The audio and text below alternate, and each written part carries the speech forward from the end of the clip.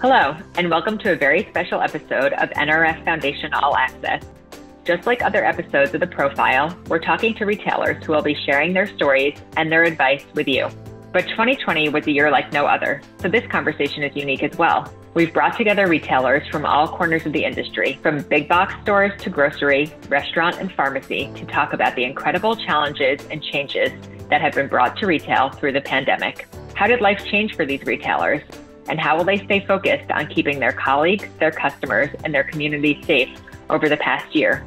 This episode of The Pro File, made possible by American Express, is about the power of resilience, and we're proud to be able to share this with you.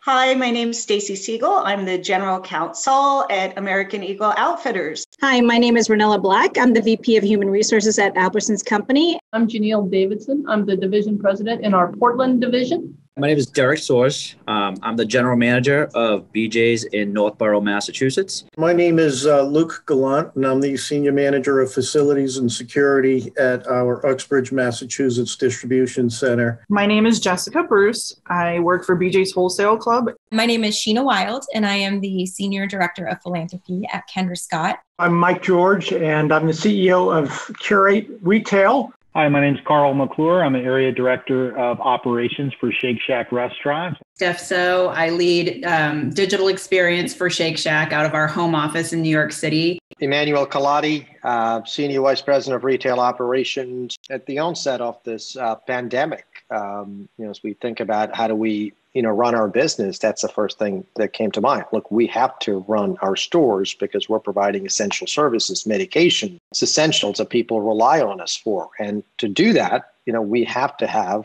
our colleagues taken care of. We wanted very much to keep our associates and our customers and our communities safe. So we hired on a chief medical officer to advise us. We got nurses in all of our locations and help them help us make sense of all the information we were getting so that we can make a safe shopping experience for our customers. It was everything from ensuring everyone had PPEs. I mean, when you're out there, you're not only making sure that your team members are wearing the correct PPE, but also our members, making sure that the sanitation protocols weren't just another task, but we were taking it extremely seriously.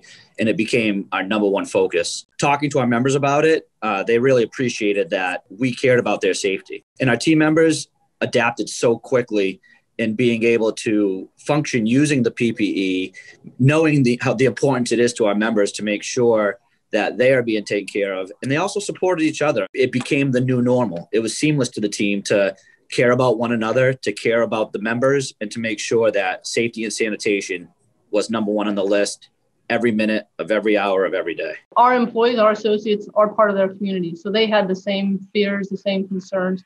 Um, but truly, their commitment to come into work and take care of their customers, uh, who in many of our communities are part of their family, is truly uh, heartwarming. We had, you know, the social distancing markers up.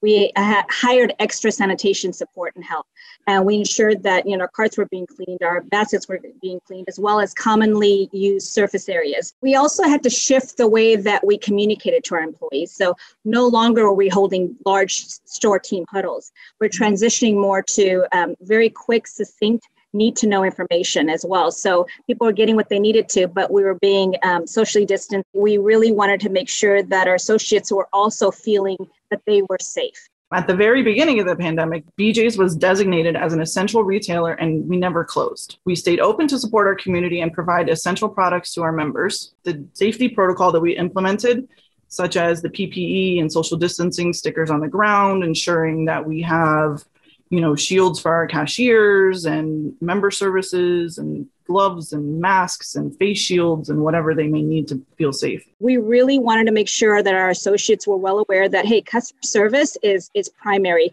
Let's make sure that our when we have customers in the door that we're we're making them feel comfortable and ensuring that they understand that we recognize that you have a necessity to be here and we're here to provide you with the essentials that you need. From plexiglass to enhanced cleaning efforts to metering uh, the number of people that could come into our stores. Uh, knowing that we were on the front lines, we took that responsibility very seriously and continue to take it seriously even to this day. We took out a lot of our inventory. We took out a lot of our fixtures in the stores to make things safer so that people could social distance appropriately. We reduced the capacity of people going into the stores. We have a little dream zone outside our stores where we offered our associates and our customers masks and hand sanitizer. We put up plexiglass uh, in front of our cash wraps. So we did everything we could to make the store look and feel inviting, but also give people the space they needed to feel like they could be safe. The stores can't operate without support from our home office. So, you know, letting colleagues work from home and leveraging technology and, uh, you know, postponing all the in person meetings. So, to ensure we're taking all the necessary steps to keep our colleagues healthy and we're not adding to the already existing high level of risk. We just can't have our team members uh, in the offices. We need to get people home to be safe, if at all possible. And those who have to be in our locations, we need to do all we can to keep them safe. So, this rapid move in a matter of a few days to getting, you know, well over 10,000 team members around the world productively working from home, and then those who had to be on site to make sure they could be safe. And in our world, that really meant the folks in our fulfillment centers. You know, for them, we had to very rapidly implement new practices around mask wearing and social distancing and stepped up hygiene and, and changes in all the procedures and processes, how we you know, sort of suspending productivity rules, giving people the options to stay home if they didn't feel comfortable coming to work, providing paid leave for folks who had uh, challenges with, with COVID. So, really focusing on our amazing team members in our fulfillment centers. And the other place where we have team members is on, on site is in our live studios around the world. And so, we had to get creative about taking a lot of people out of the live studios to reduce it to just essential staff, finding ways to keep them safe. Now, if you watch our programming, you'll see a lot of our guests will, will Skype in from home. We don't allow guests in the studios anymore.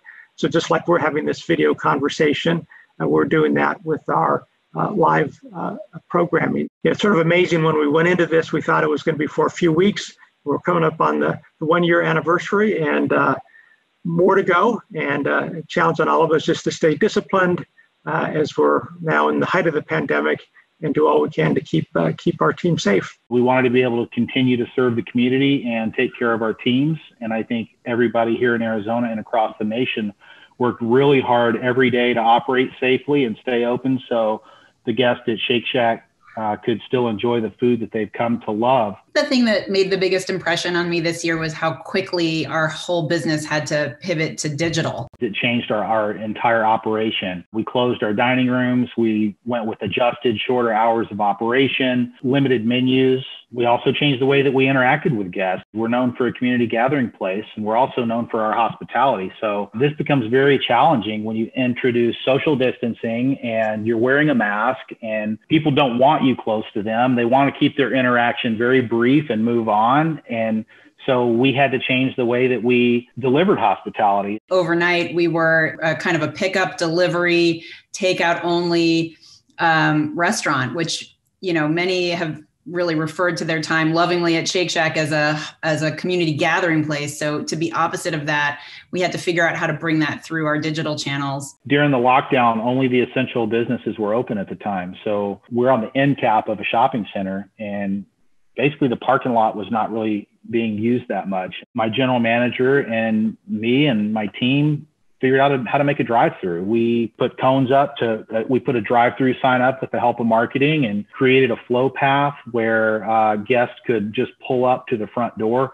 We put a big branded tent in the parking lot so guests could see that one that we were open and two that it was a drive through and it really inspired our digital product roadmap. We started thinking about how can we make it easier for our operators to serve guests in this way. We launched curbside in our app as a way to digitize what we were seeing our operators just naturally doing. And because it said drive through guests that ordered on the app instead of parking and walking up they would just get in the drive through line. We didn't realize that was going to happen we would say, Hey, you know, you here to place an order? And they would say, No, I'm here to pick up my app order. And we're like, Oh, great. It's really kind of paid off for us in terms of a great guest experience, a great digital experience. And it's enabled a lot of sales that I think we otherwise wouldn't have seen. We really wanted to figure out a way that we could quickly support our frontline workers.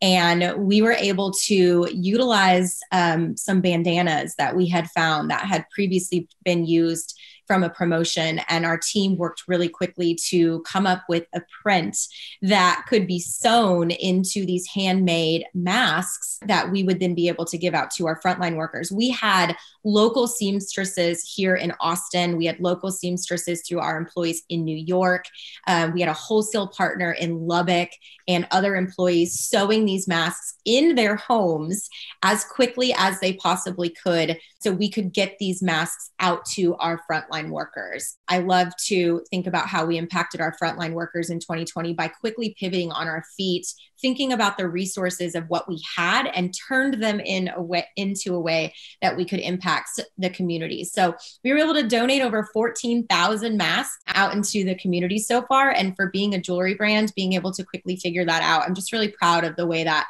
you know our teams were really able to embrace um, and efficiently and, and and quickly create those masks to be able to just really give right back out into the communities during such a crucial time when when they were needed and continue to be needed as well. You may remember it was hard to get toilet paper uh, way back in March of last year. And so a lot of my team's efforts and the national efforts were trying to secure product for customers in everyone's community because people needed food. They needed the resources. We were doing that on a global scale, but even locally, partnering with businesses here who had lost their core business, like breweries, who helped us make hand sanitizer for our customers, a local toilet paper company who helped us uh, secure toilet paper here. And then just really uh, making sure that our teams were working safe, but working overtime to get those products on the shelf. It was truly a challenging time, but I think all of our store teams across the country rose to the occasion to support their communities. BJ's took a steadfast approach, not only with you know the community, but uh, we did a lot of donating to first responders, healthcare workers, police, fire, nursing homes, with items that they couldn't necessarily get, um, even if they went to purchase it at certain locations because um, they were so scarce. BJ's did a really nice job getting together, and uh, a lot of clubs out there donated, uh, whether it be Lysol spray, wipes, sanitation, and all kind of necessities that people that take care of us on a daily basis uh, were having trouble getting. We supported an initiative with Feeding America. We found um, right when the pandemic had hit that the most vulnerable community was our children and our children that really needed to find a place where they were going to get served their meals. So we quickly jumped in and, and kickstarted a partnership with Feeding America. And then it got even larger when we thought about those families that may have lost their jobs. How are they going to get food on the table? And so, really proud to have partnered with them. And because of our customers and our employees, we were able to donate over 4.2 million meals um, to those in need during during 2020. So in 2020, as you can imagine, we really focused on the health and safety and giving back to um, people who are keeping us healthy, healthy and safe. And that was a lot of our medical communities. So we donated PPE, personal protective equipment. We donated masks. We gave in New York City, we gave all um, our, our, the local healthcare workers gift cards and thank you notes. Um, we sent breakfast. We sent in our DCs, we sent foods, uh, dinners. we did whatever we could to support the people that were supporting us. To be a strong business, you have to be part of a very strong community. And so giving back to our communities is really a lifeblood and a core culture of Albertsons. The good thing about being a big company is that you can have a big M- impact and a broad reach. So, as a company, uh, as an example, we donated over uh, 94 million uh, to our communities to feed neighbors in communities across the country. We uh, were responsible for 37.5 million breakfasts for kids. Uh, 13 million individuals were reached uh, through some of our efforts and 3,000 organizations. The pandemic has really changed my work in a multitude of ways. How can we do the things that we're so used to doing and connecting with our communities at the store level and supporting these nonprofit events? And how can we do that virtually? One great example of that is our Kendra Gives Back events is instrumental into the growth and the brand at Kendra Scott. And that's a program where we allow nonprofits to come into our stores and host give back events and we'll donate 20% of those proceeds. We had events booked on our schedules and so we said, you know what, let's really figure out how we can still make these work. So internally, you know, we were able to ideate and get together and create these virtual codes that we were able to disperse to these nonprofit partners so that they were still able to host their give back events. And then you know really took it one step further and said well let's let's really capitalize on this virtual experience for these nonprofits. And we started doing virtual styling events and we would um, allow our stylists to come on our nonprofit partners to invite their friends and family and donors. And we would celebrate the nonprofit and have it be an educational opportunity while still allowing them to shop. For us it was trying to get creative about thinking about how we can use assets that we uniquely have to try to make a difference. And for us, that's about the power of our airwaves. We broadcast into 350 million homes around the world, the power of our digital reach, but it's also about the, the, the really deep relationships we have with our consumers. Our consumers uh, tend to be very connected to uh, the company. Uh, we also have a heritage of, uh, as a company that was built by small businesses, we love to be a platform for small businesses to get on air and talk about their products. So all of that went into our thinking about how to support the community. Sunshine Division has been a great partner with us all along. It's a local food bank uh, that really responds well to the needs of the community. In working with them, a couple things happened. One, we had a store that had been closed, and they needed a facility to really meet the needs of their customers in this market. So we opened up a dark store, and uh, they moved into that space. Uh, and we're able to supply meals throughout the community to make sure that the people who uh, were really struggling through the pandemic. Uh, we're able to get the resources they need. We were able to uh, work with them through the holidays to, to donate some uh, holiday dinners through the work of our associates and our customers. and we fed, uh, I think as a company, we raised $3.6 million to feed families in, in the Oregon division. And additionally, we were able to go down there and box up uh, some meals too and deliver them to the homes of the people who, who couldn't get out or were afraid to get out, depending on, on their situation. So they've been a great partner with us, and we look forward to continuing to work with them. We have a fantastic program. It's called Kendra Cares. It's where we bring the magic of our color bar in our stores, where you can create a customized piece of jewelry to pediatric patients and their caregivers in hospitals. As much of us know, you can't you couldn't go into the hospitals during this time, and that was horrible for us to to think of these families and their their kiddos and so we pivoted quickly and thought about how do we still get in there. And so it was really cool for me to be able to work with my team to think through how do we create this virtual experience. And so through technology and FaceTime and creating human connection still with our employees and with the patients, we were able to create the color bar uh, Kendra Cares experience and let the patients still be able to order their pieces through uh, virtual. And then we would drop them off curbside and have the nurses deliver them. It's a huge uh, program for us. We're in 39 hospitals. We've been able to touch the lives of over 7,500 patients and their caregivers this year virtually still. It's just a really exciting way that, you know, we were still able to do what we uh, like to do, which is lead with our heart and bring joy to our communities, even during a pandemic. The Small Business Spotlight's really been a fun effort, and it's one we've done in partnership with the National Retail Federation Foundation. Small businesses are the lifeblood of the retail industry. You know, we all know those amazing small businesses in our community uh, that make such a difference. They've become a bit of a town center for the communities we live in, and we know how much they have struggled through this pandemic. And so it's sort of natural for us to turn to the NRF and to the foundation, and we collaborated. We worked with them to identify really special small businesses across the country. And we just use our airwaves and our digital platforms across QVC, HSN, and Zulily to tell their story. Uh, we would produce great video about the stores. We would uh, Skype in the owner of the store, the, the, the founder. They would come on air and talk about their local store and what they're what they're trying to do. So it's really a special way to celebrate them, and and and, and they were uh, overwhelmed with uh, visits, and and and and uh, their websites got uh, overwhelmed with the response from our uh, customers. So it's just such a fun way to make. Uh, make a difference. And it was really about trying to not just support those businesses that we featured, but to encourage folks to support whatever small businesses in uh, their community. The first wave we did with 20 small businesses identified by the foundation. But then, as the cries for racial justice grew over the course of the year after the murder of George Floyd, we wanted to also make a difference in the Black community. And so we did a second phase uh, featuring 40 terrific Black owned small businesses. And now we've just announced a, a third phase, again in partnership with the NRF Foundation, where we'll feature 100 small businesses in 2021 over the course of the year. Uh, and we'll we'll take advantage of celebrating uh, different communities and, and different heritage months. So, you know, February is Black History Month, so we'll feature some more Black owned businesses. March is Women's History Month, and so we'll feature some great women owned businesses.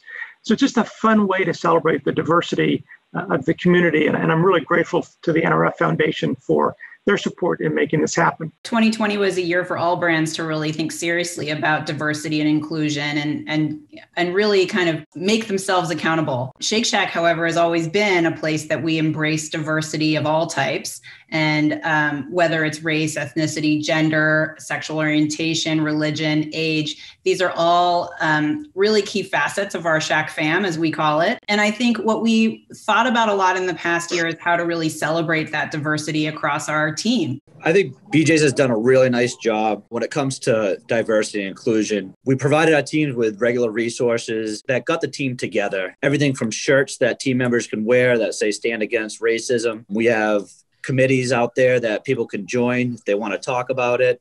And I feel like the team members really had buy in, and, and it shows that we're one team. And it's something that starts right from the very top all the way down. As a leadership team here in the distribution center and in the entire distribution footprint, we really have prioritized uh, diversity and inclusion in our hiring practices as well as uh, in the leadership team. And we recognize more than ever the importance that our teams look like our membership to help us create an environment in our clubs uh, and in our distribution center where our members um, see a little bit of themselves, where our team thinks like our members think, knows what our members want. There are many initiatives that we focused on in terms of a Stand Together series, which is a monthly series we do to spotlight different members of our team across the country.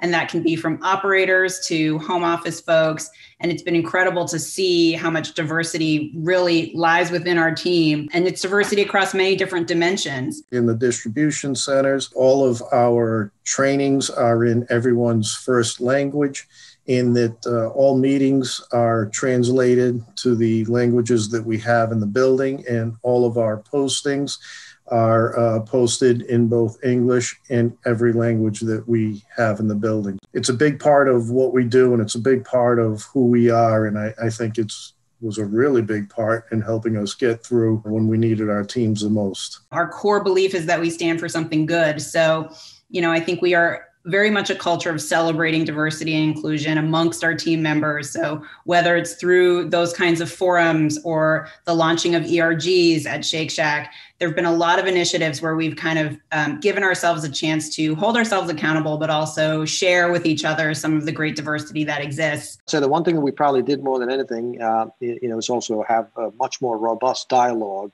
and, and really keeping this topic alive and and restating our commitment to the cause uh, each and every day you know from our senior most leaders to you know the leaders that are closest to the stores and our store colleagues you know we have colleague resource groups that you know meet to make recommendations and ensuring that there is the appropriate access for folks from all walks of life in our company for career advancement opportunities. And then when we look at our leadership ranks you know how do we really ensure that we're investing in our diverse um, team members and ensure that they have the same opportunity that everybody else has for advancement. So, how do you invest in building their capabilities?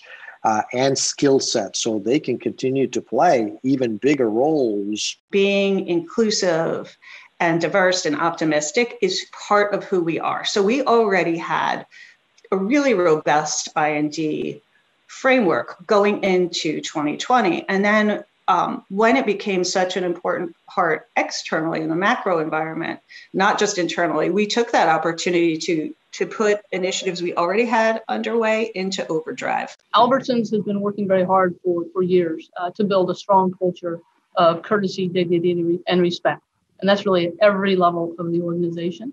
But certainly, uh, you know, the killing of George Floyd kind of raised the awareness for a lot of people. The comment uh, made first and foremost from our CEO set the tone for the division to follow.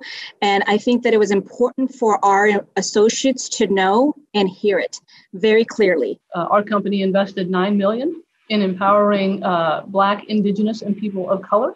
Ensuring our culture is welcoming and inclusive for everyone um, across every aspect of diversity and then develop it, making sure that when we bring people in, they have the opportunity to rise through the ranks and develop. For our associates, we felt like we are a part of the solution. We, we as a company we're all going to be a part of the solution. Diverse perspectives, uh, people with diverse backgrounds, people with a different voice, just make us stronger, just make us better business people and able to meet the needs of our customers more. One of the things we're really proud about that we were able to do in 2020 is launch our Real Change Scholarship for Social Justice. We have committed to giving over $5 million to students, to our associates uh, to pursue an education, a four year degree. For the first year, we're going to give a scholarship to 15 associates to really make a positive impact on their worlds. We were really proud to donate to an organization called The Conscious Kid. They're an organization that really focuses on research and tools to prevent biases amongst our youth. And so, in working with them, true to our pillars of serving women and children, we were able to help launch a book fund for them, which was the Anti Racist Children's Education Book Fund, which focused on getting books into the hands of educators and families around crucial conversations in race. We've always felt it's got to be a critical part of our mission to make sure that our team is as diverse as the customers we serve. And the murder of George Floyd and, and all the other tragic events of the past year just put into sharp relief that as much as we were doing, we weren't doing nearly enough. I know for myself, I had so many conversations with team members that I've known for years, and we would have lots of conversations about family and colleges and pets and sports.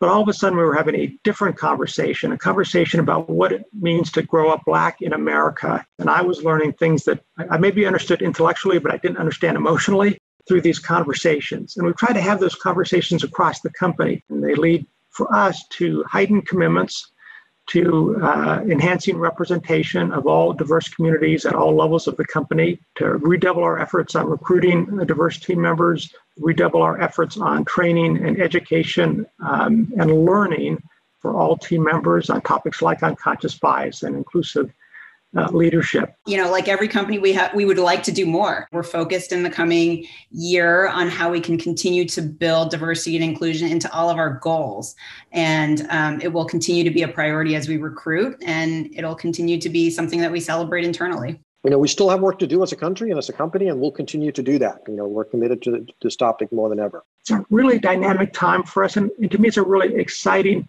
time that has energized the whole team about how how do we move forward, build a greater company to a higher uh, purpose. So we're we're really excited about where we are and, and look forward to what we can accomplish uh, in the coming year. Retail in 2021, I think, is going to be really exciting. I think for sure it's going to be a continued focus on digital. I think that more and more companies are going to recognize that that our customers now more than ever have the choice of where they can spend their dollars and so you have to show up with values that they can support and believe in as well as the best product uh, as and you know best quality for the dollar. 2021 is going to be an interesting year i think. If anything 2020 really proved how important grocery stores are.